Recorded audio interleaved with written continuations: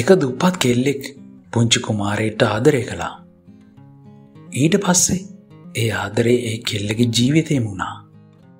මේ ජීවිත කතාවේ නවවෙනි දිගෑරුමයි. හිමාලි කෙලින් මාවේ කුස්සියට වේ. අනුලා තේ හතන්නට සූදානම් කරමින් උන්නාය. තාම පහන්දර හයටවත් නැත. ගුඩ් මෝනිින් පුංචි නෝනා. අනුලා මද සිනාවක් පා කීවාය. අද මොකද මේ උදේ පාන්දනම සාරියකුත් ඇඳගෙන. අනුලා සිතුවාය. මෝනිින් අනුලා. පුංචි නෝන එලියට යන්නද? ඔව අනුලා. තේ ටිකක් හදල දෙන්න. අද පුදුමයි.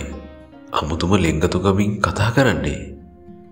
අනුලා සිතුවාය අනුලා හිමාලි කතා කළේ ඇගිලි පටලවමිනි.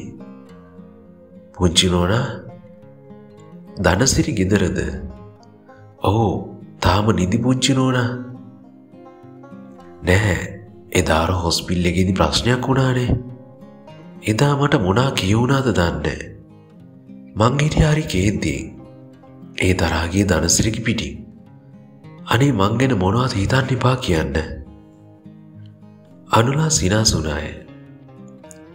එයා එහෙම හිතන කෙනෙක් නෙමේ පුංචිනෝන ආශ්‍රය කළොත් පුංචිනෝනට තේරේ ටිකක් දුකින්නම් හිටිය තමා. මන් දන්නවා. මං හම්බ වුණාම සමාව ගන්නම්. මං එහෙම කතා කරම එක වැරදිී තමා. අනුලාට බුදුමය. හීටපු හිමාලි මැරුණද? මේ ඉන්න අලුත් හිමාලි කෙනෙක්ද? අනුලා වනත් මං ගැන වැරදියට හිතනව ඇති. මම? මංකවුද පුංචිනෝන මේ ගෙදර උයන හෝදන ගෑනි මංගේම හිතුවේ නෑ. මං මේ ගෙදරට ආපු දවසඉඳලා මට සැලකුවේ අනුලා. රෑට කාමරයට බඩත් උත්සගෙන ඇවිත් තේකක් ඕනද කියලා ඇවේ අනුලා. මටවා මතකයි. අනුලා සිනාසුනාය. කවුරු හෝ වැරදි තේරුම් ගන්නවා නම් හොඳයයි අනුලාට සිතුනි. ආතේක පුංචිනෝන පැටිය නිදිද හිමාලයාව කතාවටමය තුන වෙනකල් හැරගෙන දැන් නිදී. නමේ වෙනකල් හැරෙනෝ බොරු. මට රෑ ඇහෙන වඩනවා තනේල්ලෙන්න පුංචිනෝන ලොකු කරගන්නකල් දුක නේද? පුංචි නෝනටත් කවදාරීතින් තේරේ බැන්ද කාලෙක. ඒක දුකක්ම නෙමේ ඉක්මට මාත් බබෙක් හදයි. හිමාලි සිතින් කීවාය උතින්ම පුංචිනෝන හොස්පිල්යන්නද ඔව්වානුලා රෑට නින්දක් නෑ. ළඟින්දත් බෑනේ. හිමාලි කෝපය තපා සිනාසුනාය. මයි යනවා. ධනසිරිට අරක කියන්න හොඳේ? මං කියන්නම්.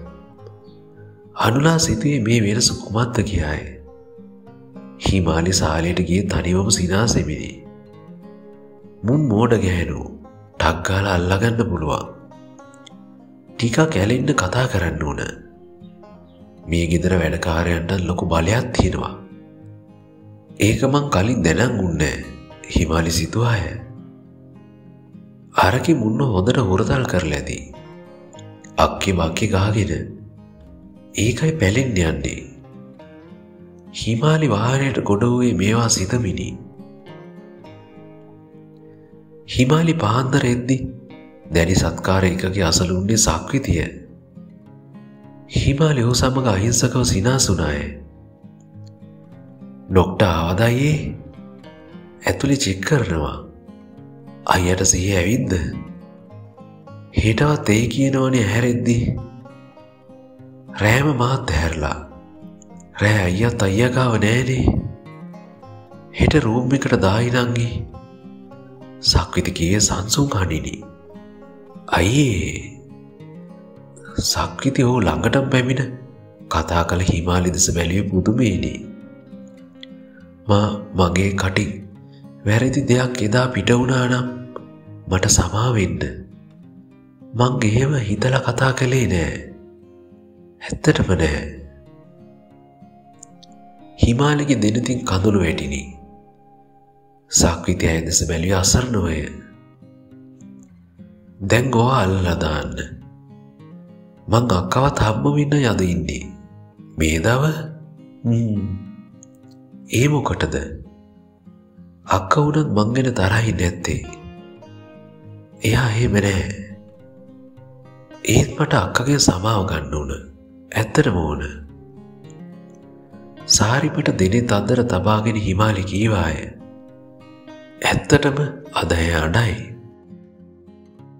මේක අයේ කොහොම බැඳිංච බැනීමද දන්නේ මංවත් දන්නේ මාව තේරුම් ගන්න.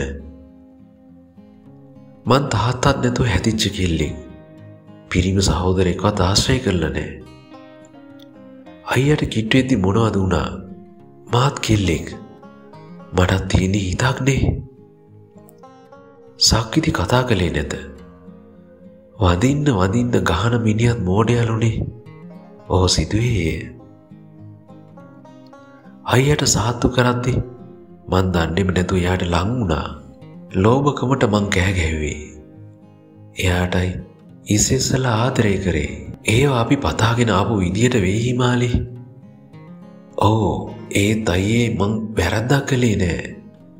කෙනෙට්ට ආදරය කරන්න ගත්තම තමන් වැරදිී කියලා පේෙන් නෑනේ. සක්විති හිස වෙනුවේ නීඩවමය. පුළුවන් වුණොත් සේරම අමතක කරලා මන් නුවර බස් එකට නගින්නම්. එතකල් මට ඉන්න දෙන්න. හිමාලිගේ දෑත් එකතු කරය. දෙහි බෑයා මිරිකත්දිමින් ඇගේ දෑසින් කඳුළු කඩා වැටෙන්න්නට විය. මං කවදාවත් නංගිට මේ යන්න කිවේ නෑනේ. ඉගෙන ගන්න එක කරගෙන ඉන්නන කිව්වේ. ඕ ඒත් තැන් මං පරක්ක වැඩි. මොනා කරන්නද? කාගේ ඇතිනුත් වැරදි වෙනවනි අයියේ? මං එයාට ආදරය කළේ විශ්ව විද්‍යාලයට තේරිච්ච ඉගෙනගත්ත කෙල්ලෙක් විදියට නෙමේ. ගමේ මෝඩ බොළඳ කෙල්ලෙක් විදියට.